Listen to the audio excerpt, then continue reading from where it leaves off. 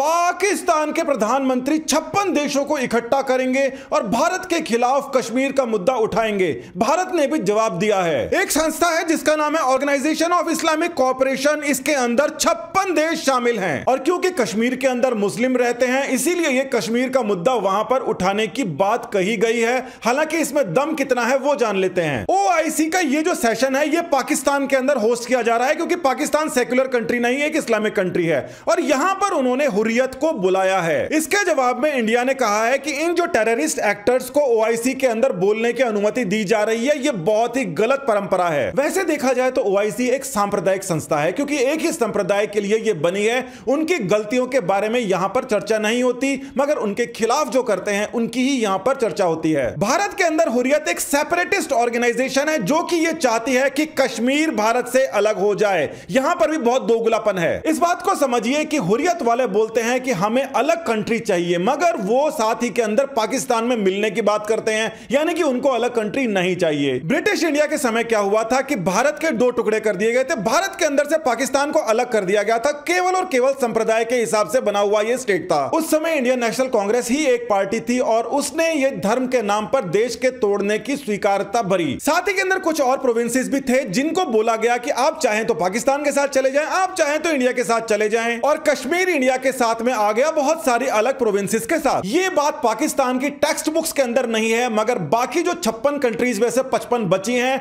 उनको ये बात अच्छी तरीके से पता है कि ये कश्मीर के कागज़ भारत के पास हैं, पाकिस्तान के पास नहीं है। हुरियत का जो चीफ है, ये पैसे खाकर पाकिस्तान का झंडा फहराते हुए पकड़ा गया था और इसलिए इस समय ये जेल के अंदर बंद है। यानी कि इसको ओआईसी के अंदर पहुँचने की संभावनाएँ बिल्कुल नहीं है, क्योंकि जेल के अंदर है, मगर इसकी संस्था के अंदर इसकी तरफ़ से कोई ना कोई जाएगा। ये बात जो है ओआईसी के अंदर कई देशों को पसंद नहीं आ रही और देखा जा सकता है कि मोरक्को और इंडोनेशिया, ये कंट्रीज़ के फॉरेन मिनिस्टर वहाँ पर नहीं पहुँच रहे। महत्वपूर्ण इसलिए है क्योंकि इंडोनेशिया वर्ल्ड की सबसे ज़्यादा पॉपुलेटेड मुस्लिम कंट्री है और मोरक्को वो जगह है जहाँ पर आईओसी की शुरुआत की गई थी। हुआ यह था कि ओआईसी की शुरुआत की गई थी मोरक्को के अंदर और मोरक्को के अंदर किस लिए की गई थी? इसका एक ही कारण था, सबसे बड़ा कारण अलक्सा मॉस अब समय के साथ क्या होता है कि ओआईसी जो कि मोरक्को के अंदर बनी थी, वो खुद ही इसराइल के साथ में डिप्लोमेटिक टाइज को एस्टेब्लिश कर लेता है और इस साल इसकी सेकेंड एनिवर्सरी आ जाएगी। यानी कि जिस वजह से जिस कंट्री के अंदर ओआईसी का एस्टेब्लिशमेंट हुआ था, जो मूलभूत उनका प्रिंसिपल था, वो शायद अब भूला जा रहा है। इसके साथ ही क्या होता है ओआईसी को सऊदी अरेबिया के अंदर इसका हेडक्वार्टर्स है। और आप देख सकते हैं कि इसराइल के साथ में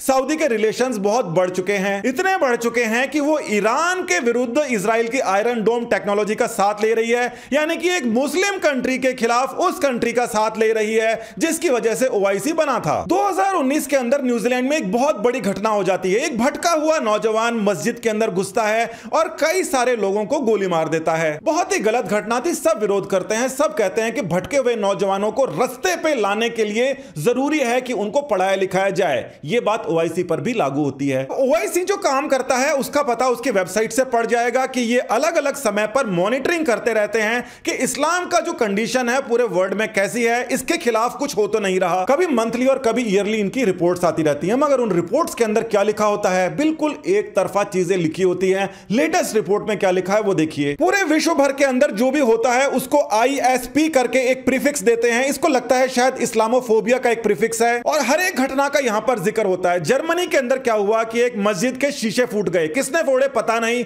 मगर इसको भी बोला गया कि ये इस्लामोफोबिया का एक इंडिकेटर है। नॉर्थ अमेरिका की एक रिपोर्ट के अंदर लिखा जाता है कि एक मानसिक रूप से विषक्त महिला है, जिसने यहाँ पर कचरे को आग लगा दी। इसको भी इस्लामाफोबिया के अंदर काउंट किया गया। भारत की तो इसके अंदर रिपोर्ट होनी है, और भारत के अंदर क्या रिपोर्ट हुई है, भारतवासी समझिए। यहाँ पर एक रिपोर्ट डाल रखी है कि बेंगलुरु के अंदर एक पुलिस वाले ने एक मुस्लिम को पकड़ा और उसको मारा पीटा और उससे पैसे की डिमांड की। यानी कि यह इस्लामोफोबिया है। दो दिन के बाद में जब ओआईसी कश्मीर का डिस्कशन करेगी, उससे पहले पूरे विश्व भर के अंदर कश्मीर फाइल्स धूम मचा रही है। कश्मीर फाइल्स एक ऐसी फ़िल्म है जो कि पाकिस्तान का पूरा रोल दिखाती है। कश्मीर के अंदर किस प्रकार से उन्होंने मुस्लिम्स को भड़काया और मॉस्क के अंदर पाकिस्तान के एजेंटों ने किस प्रकार से हिंदुओं के खिलाफ कई सारे बयान दिए? यहाँ पर एक और चीज़ है जिसको ओआईसी को समझना चाहिए कि इस्लामोफोबिया का असल में पीछे कारण क्या है। एफबीआई जो है वो यूनाइटेड स्टेट्स का है। यहाँ पर आप अगर जाएँगे तो मोस्ट वांटेड टेररिस्ट की लिस्ट मिल जाएगी। आतंकवाद का कोई धर्म नहीं होता, मगर जब आतंकवादी पकड़ा जाता है तो उससे उसके धर्म का पता चलता है, जिसकी वजह से पब्लिक के अंदर अनरेस्ट आता है। अब होता क्या है कि दो चार पाँच परसेंट हर कम्युनिटी के अंदर, हर संप्रदाय के अंदर गलत लोग निकल आते हैं,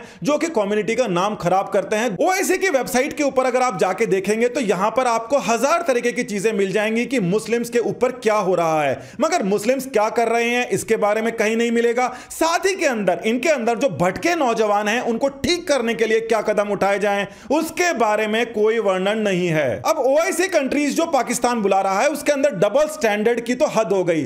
चाइना के विदेश मंत्री को वहाँ पर स्पेशल गेस्ट के तौर पर बुलाया जा रहा है। वही चाइना जो कि मुस्लिम्स के बारे में अलग अलग जगह से बायकॉट झेल रहा है और पूरे विश्व के अंदर इस बात का डंका बज रहा है कि ऐसा जो कंट्री कर रही है, वो तो पूरा विश्व कर ही नहीं सकता। अब ये जो छप्पन कंट्रीज़ हैं, जो ओआईसी का दम भरती हैं और कई सारी गतिविधियाँ करती हैं, जिनके बारे में आपको पता पड़ा, वो अगर हुरियत को बुला भी लेते हैं तो इतना ज़्यादा कोई फ़र्क पड़ने वाला लगता नहीं। भारत की तो संस्कृति यह सिखाती है कि अपने बच्चों को गलत काम करने से रोको, किसी को परेशान करने से रोको। महिलाओं को बराबरी का दर्जा दो ताकि कुछ डेवलपमेंट हो तुम्हारे देशों के अंदर भी।